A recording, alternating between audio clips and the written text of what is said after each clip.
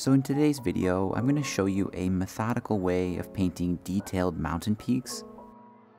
Most tutorials for this lean heavily on intuition, but I'm going to avoid that and instead stick with a direct and logical beginner-friendly process. So the watercolor effect here is coming from a paper texture and the Alpine Forest brush kit.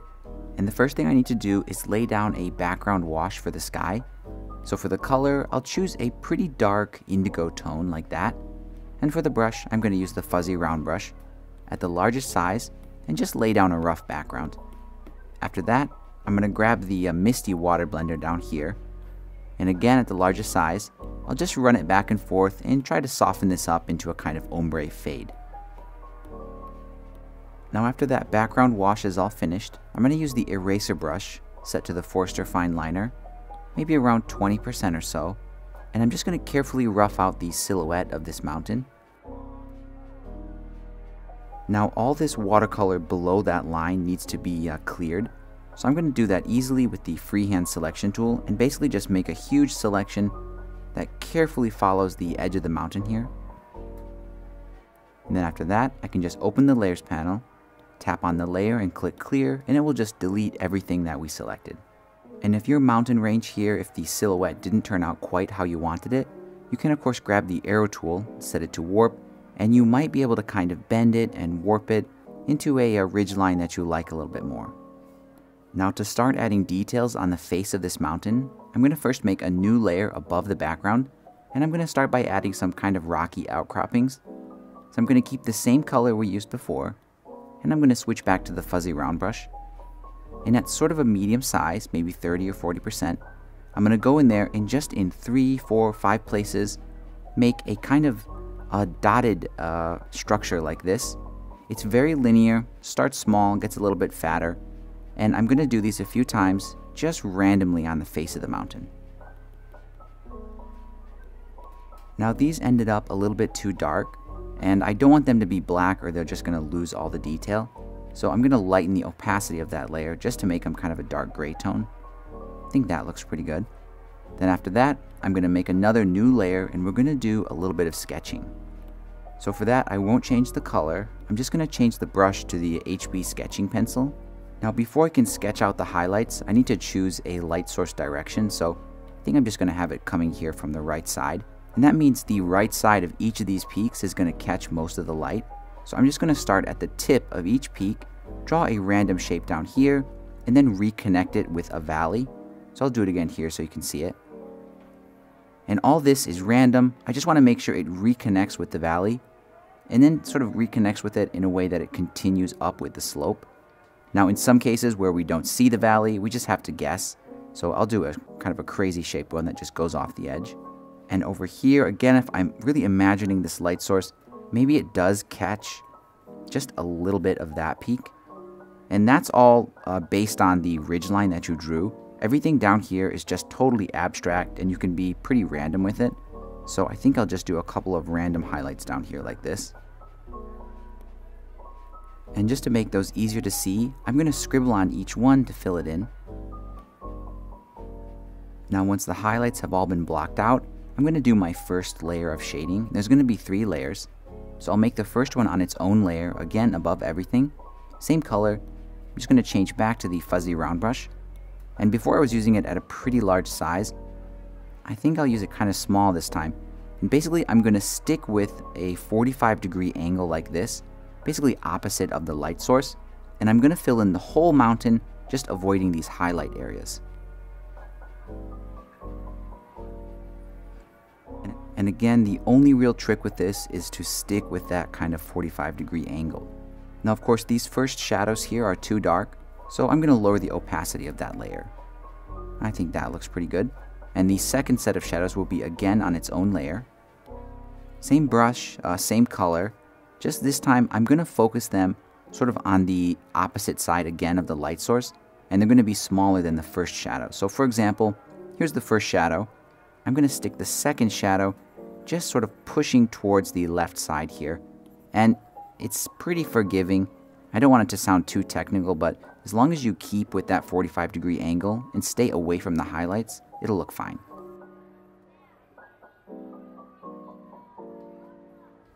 And just like before, I'm going to adjust the opacity of these shadows, but I'm also going to change the transparency mode. So right now it's set to normal. I'm going to set these ones to multiply, and then again set it so it's just a little bit darker than those first shadows, but still quite a bit lighter than these rocky outcroppings.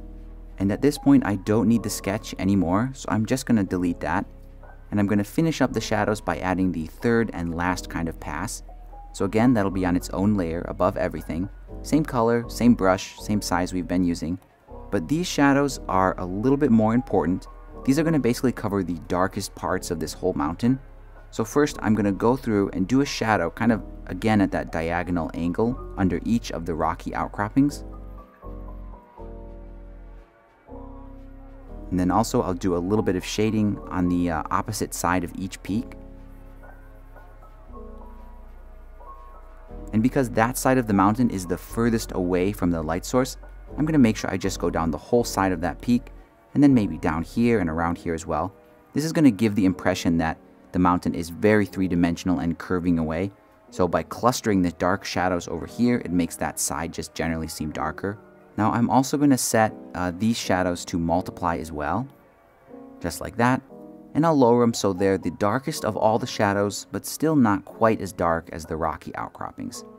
And now at this point, I can merge all the mountain layers together, but I'm going to make sure not to include the sky in that, so that's still on a separate layer. Now at this point, when all the shading on the mountain is done and it's merged together onto one layer, I recommend using the water blender to kind of soften it up. And my favorite one here is the Misty Blender. And you can use it at whatever size is big enough to kind of fit in between there. And I'm going to focus on blending areas that look sort of uh, too much like marker, like especially over here.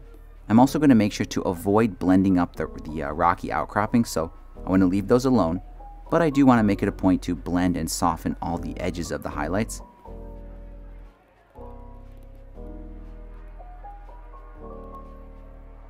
So now as you can see, it's pretty well blended, but I left a couple of hard edges, especially on those darker shadows.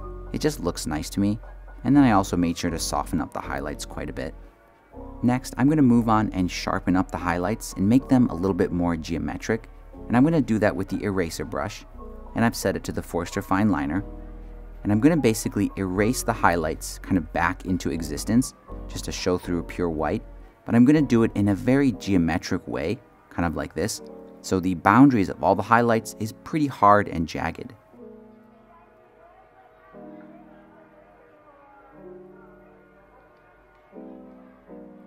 Next, I'm going to use the same eraser brush to add a highlight on top of each one of these rocky outcroppings.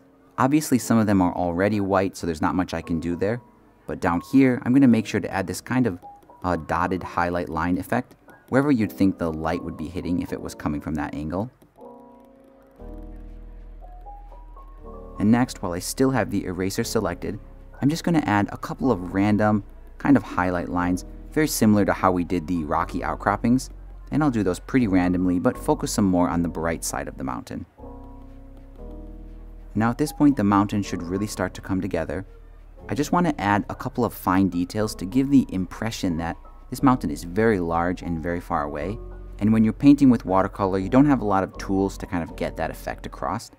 So what I recommend doing is uh, again making a new layer above everything.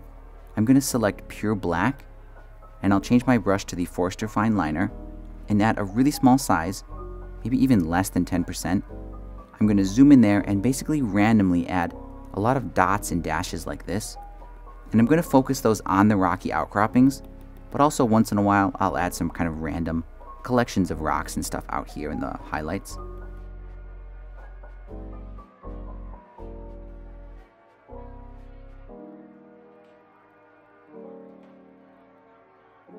So our mountain here is almost done. I just want to lighten the sky a little bit. So it's still on its own layer, so I can just lower the opacity and just set it to a point like that. And then once you're happy with how everything looks, you can just pinch and merge it all together onto one layer. Now if I zoom out here, you can see the bottom of the mountain doesn't look so good. So I'm going to use the uh, Misty Water Blender again at the largest size and just soften this up and make it look like a storm or some kind of clouds are rising up and covering the bottom.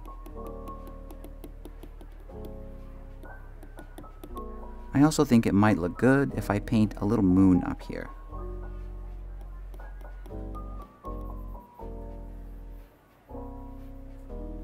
So you could definitely use some of the pine tree brushes to add a line of trees just covering the bottom of the mountain. And I recommend giving that a try, but in this case, I really just like the simplicity and minimalism of the original layout. So I think I'll pass on the trees this time. And there we go, this simple mountain scene is all done, and here's the final result. So if you really want to take your mountains to the next level, I recommend just pushing yourself to paint 5 different mountains. Just the mountains in the sky, you don't have to worry about trees or anything, and just make sure it's a different arrangement of mountain peaks each time. It'll probably only take 2 hours or so, and I guarantee you'll see an amazing improvement uh, in your structure and shading. And that pretty much wraps it up. Uh, please, if you think I've earned it, give this video a like and subscribe to the channel if you haven't already. Thanks again for all your support, thanks for watching, and I'll see you in the next video.